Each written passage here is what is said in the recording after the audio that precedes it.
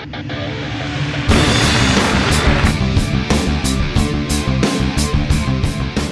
it looked like it was all in the bag for Rudy Project after a few strong performances at the previous rounds, and then um, Sky and Rapha kind of pulled some rides out of the bag and dominated some of the racing. So I think it's all still to play for in London, really. I did hear we're a few points behind, so got a bit of making up to do. Um, we'll see what we can do, but yeah, I'm just here to sort of have fun and get stuck into some good bike racing, really, and whatever the outcome is, it is. I think uh, Rudy Project will win overall still. Um, it, yeah, they've got two good riders every round, so they're, they're looking good for that, for that sort of overall series. Ed's always super hot, so uh, um, yeah, I root for Ed. So.